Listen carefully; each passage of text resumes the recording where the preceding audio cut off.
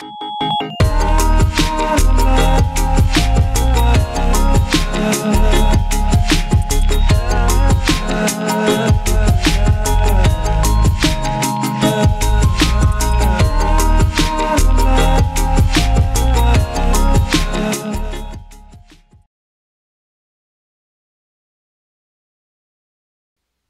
to the fourth presentation in Unit 1, and it says Math makes your life easier. Okay, so the first thing we say is do not worry about your difficulties in mathematics. I can assure you that mine are still greater, Albert Einstein. So Albert Einstein was actually an interesting case because he uh, actually failed algebra several times before he was able to actually um, get past the course. And although he was brilliant, um, he was not on par with the mathematicians of his era for physicists. So he actually was more of a theoretician and would would put forth the ideas that other people would work out the math for. Now he was brilliant in his own right and was able to do the math that that's more complex than we do, but he was nowhere near on par with some of his fellow um, physicists at the time. So, learning objectives. So students should be able to do, uh, describe the origin of an equation uh, that we'll use throughout this course, rearrange variables to solve for an unknown variable, and identify the limitations of equations, if it has limitations. So, you should already know that graphs can be uh, used to show the relationship between variables, and those variables that are correlated move together. Now, if you have variables that are causal, and that causal means that one causes the other, uh, and that does require an experiment to verify. So once you establish that causal relationship, you can convert this equation, this graph into an equation. So here's what we learned in the lab. That data from graphs can be converted into equations. That equations have the ability to predict values that you don't directly measure. And that's the whole reason for developing a graph and an equation is the idea that you can uh, have an equation so you don't have to always perform the experiment. You can say, well, based on what we know, this is what it'll be. So all scientific equations come from this idea of empirical evidence. So the key thing is that the origin of all equations is based on empirical evidence, which means uh, the variables were determined to be correlated, which means they move together. And then after that, experiments were conducted, repeated, expanded, verified until a well established causal relationship was observed. So, really, the whole reason behind developing an equation is to be able to predict what the relationship is without actually having to do the experiment. So, repeated measure uh, repeatedly measuring is time consuming so whenever you have this time consuming like if i had to measure the density of a substance and I always had to do it. I had to get a mass out and I had to get the volume out for everything that I wanted to do. It's time consuming and it's not practical. So you get these well established relationships and you can move on from there. So using a graph without the equation part can be highly inaccurate. Uh, whenever you're interpolating data directly from a graph, you're basing it on estimates between values and how do you know that it's 750 and not 748 or 749.3 um, it's really almost impossible to tell. So you really don't want to use interpolation from the graph if possible, or extrapolation from the graph if possible. So really what you want to do, the whole idea of converting it into an equation is to take the human error out of it.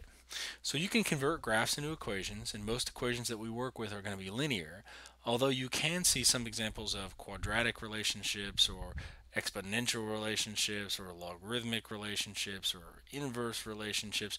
There's going to be lots of different relationships, but the majority are going to be linear.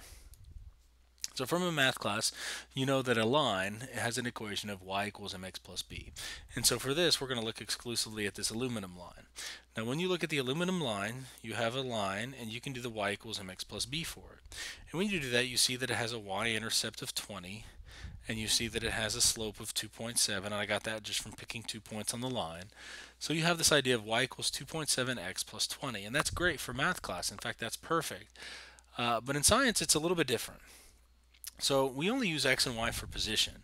So if we say I move in the x direction or the y direction, so x and y uh, very specifically mean position, and, and I don't have position here and I don't have uh, y position or x position. So instead I have mass and volume. So what I do is I trade the variables out. Instead of writing a y, I write an m, and instead of writing an x, I write a v, which makes sense. So now you have the equation m equals 2.7v plus 20. And now you can kind of stop for a second. You can say, okay, what are the limitations in the real world for this equation? And there are some pretty obvious ones. So if you have zero volume of a substance, so if I have an empty container okay, you should be able to say that the mass is going to be zero. Okay, if I don't have any Play-Doh or if I don't have any aluminum, the mass of that aluminum should be zero. But here I have a mass of 20. So there's a limitation to the equation that when I plug in a uh, v of zero, that, that I get a mass which shouldn't be there. Likewise, when I say that I have zero mass, I would get a negative volume term. And so that doesn't make any sense. Now the reason why you have this in this case is we can assume that this is the container that the aluminum was put in. So you have to be able to think through why do I have a slope? And in this case, we must have put the aluminum in some sort of beaker or some sort of container that had mass, and that's the only reason why we have a y-intercept. Now, if you look in this case, we have, if you were to continue this line, this copper line, it actually goes below the x-axis. And so that doesn't make any sense. So there must have been some sort of error with the scale or with our measurements or with our line of best fit in order to get a negative value. So it's really important that you look at the limitations of your values. Now, once again, we have this idea of m equals 2.7v plus 20, and that makes perfect sense for math, but once again, that, that 20 doesn't make any sense, and I showed you why we can kind of disregard that 20. If we take out the mass of the container itself, then we can say, well, what, what makes physically sense is m equals 2.7v. Okay, that's great. So this 2.7v represents the slope of this line. Now the slope of the line for copper and the slope of the line for aluminum are different. You have different values there. So, so we know this slope can change based on the substance that's there. So we can say m equals the slope times v. But we call this thing a special relationship. The relationship between mass and velocity, we actually give a special name, it's called density. So the origin of the density equation actually comes from measuring this relationship between mass and volume, and you get the equation m equals dv.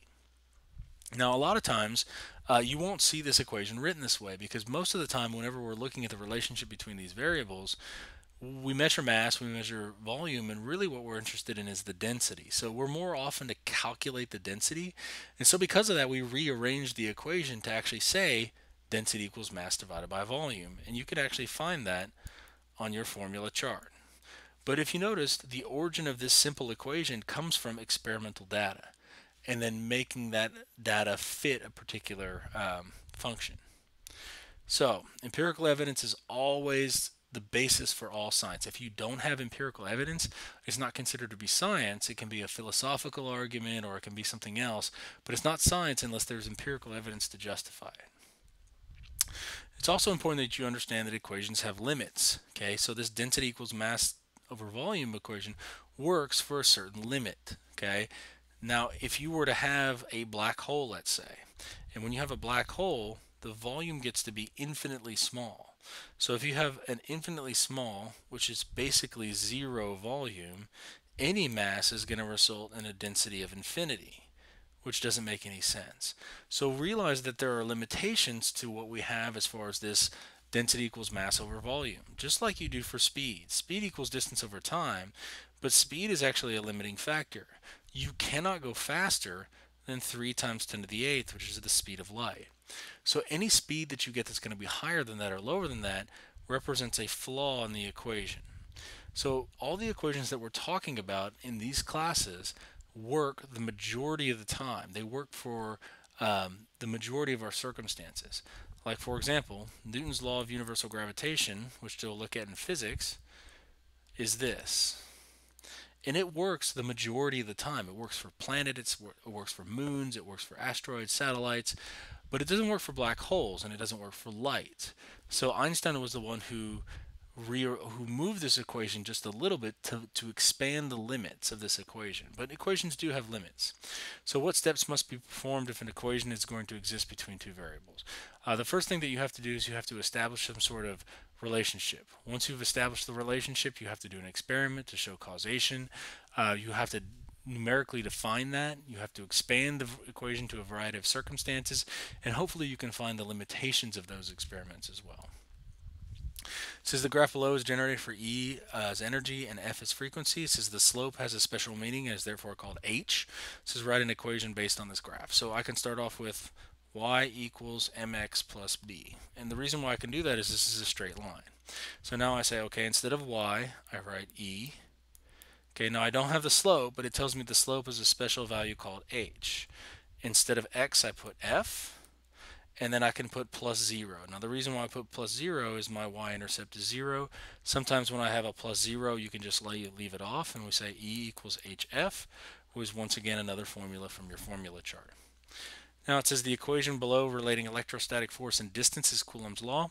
It says what would you expect the graph of force versus distance? So if I were to put force and distance here, I'm going to assume that all these other numbers are a constant, so they don't come into play in this. So really what I'm graphing is f equals 1 over d squared. Whenever you have this and you were to look at it from another perspective, you'd say, okay, well if I put uh, y is f, I get y, and then d is x, I get 1 over x squared. Now if you know from math class, when you get 1 over x squared, you're going to get a graph that looks like this. Now the question is this, is does this part of the graph make physical sense? And the answer is no, because you can't really have a negative distance. You can't be closer to an object than zero. Now we'll talk about the difference between distance and displacement a little bit later, but you can't be closer than zero to an object, so that doesn't make any physical sense. So this is our graph. Whenever you choose to rearrange an equation to solve for something, it's really important that you understand the basis behind this. And it's the idea of opposite functions and equivalence. So you should know this, but addition opposes subtraction, multiplication opposes division, square root opposes squaring, exponentials opposes logarithms. This should be really the only one that you might not be familiar with. And we're really not going to get into this until later in the year, so we're going to kind of leave it off for now. But you should know that if you have x plus 7, the way to isolate x is to subtract 7. If you have 2x equals 5, you should be able to say, well, I can get x by itself by dividing by 2 because these two are multiplied. Okay, equivalence means performing the same the same operation on both sides, and that maintains the equivalence. So if you have 5 plus 2 equals 7, that's a true statement. 5 plus 2 equals 7. If I subtract 3 from both sides, I get 2 plus 2 equals 4, and you maintain the equivalence. So when you rearrange an equation, a lot of times you're working with variables that you may not necessarily know what they are. So you have like PV equals nRT. Um, this equation you don't really know anything about, but you should be able to rearrange it for n. If you look, P and V are multiplied, nRT are multiplied, but they're on opposite sides of the equation. So the first thing that I need to do is I need to isolate it. So the variables nRT are multiplied, so the opposite function would be division. So what I want to do is in order to get n by itself, I have to divide both sides by RT. When I divide both sides by RT, I divide by RT to isolate the n, but then I need to do it to both sides to maintain equivalence. And when I do that, I get n equals PV divided by RT. Okay, it says rearrange the equation below to solve for f. So you start off with CF equals lambda and I want to solve for f. So I see that c and f are multiplied by one another. So now I take this and I divide both sides by, or divide this side by c. When I do that, I've now isolated f, but I have to do it to the other side to maintain equivalence. So you have f is equal to lambda over c. Next, it says variables are often given a subscript to provide more information about how the data was obtained. Subscripts are not variables and are not attached to the variable they are next to. So when you see P2, P2 does not mean 2 times P or anything like that. It just says the second pressure reading. So because of that, we want to rearrange for P1. Well, you see P, to P tot, which means P total, is equal to P1 plus P2 plus P3. You want to isolate P1. Well, when you do this, you would see you got to subtract P2 and you got to subtract P3 from both sides. When you do that, you get P tot is equal to, or excuse me, P tot minus P2 minus P3 equals P1. Okay, and finally it says lambda is a Greek letter used for wavelength. Rearrange the equation below to solve for wavelength. And why do we sometimes use Greek letters? So the first thing we need to do is we would say E of the photon is equal to hc over lambda. The first thing that you have to do is you have to get lambda on top. So you multiply both sides by lambda. When you do that, this cancels out and you have lambda e equals hc. At that point, you can start to isolate lambda. And you say, okay, I'm going to divide both sides by e. When you divide both sides by e, you get lambda is equal to hc over e. Now a lot of people will just try and divide both sides by hc at the beginning, But then what that does is it gives you 1 over lambda. And the argument that people try and tell me is that, yeah, that's the same thing as lambda, and it's not. If you were to get 100, or let's say a 95 on a test, that's great. But if I were to enter a 1 over a 95, you wouldn't be as happy with that grade. So realize that 1 over lambda is not the same thing as lambda. So you need to make sure that the variable you're trying to rearrange for is always on top.